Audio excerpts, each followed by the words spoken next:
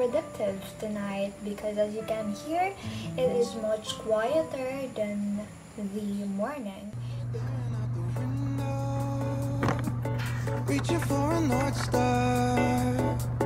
Waiting just to wake up From this nightmare Where you could be right back in my arms Dancing to the limbo.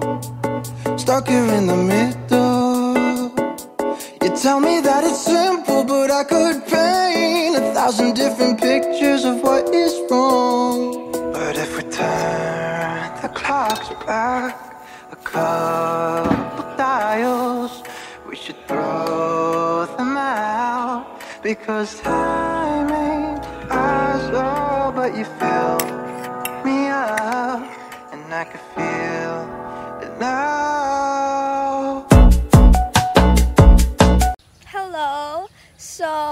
I tried to nap last night. I believe it's 1 a.m.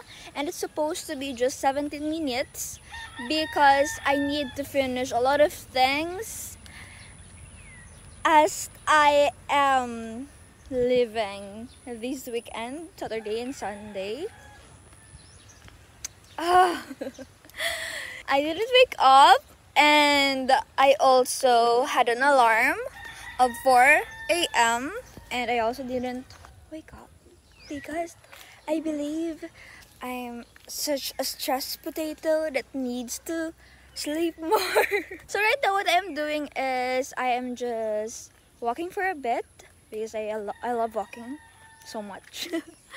and it's morning. So fortunately today is a sunny day. Sure. I mean today is not that maingay so I can tolerate this.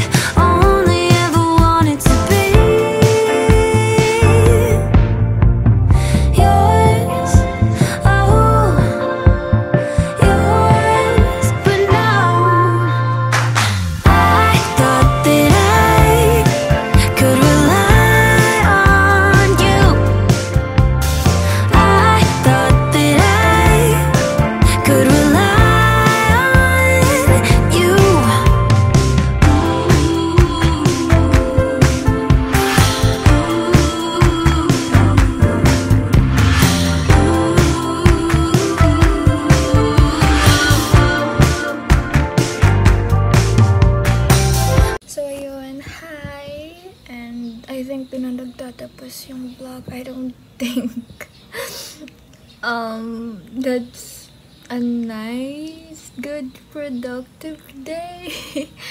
but you know, we will always have days that we cannot have those perfect ideal days that we have in our mind but as long as we're moving i believe we deserve self-compassion towards ourselves and that i have a lot of things to do pa din but still i will not film it already because i believe medyo na condition ko na yung self ko into momentum and that's what I need then as well and the reason why I filmed.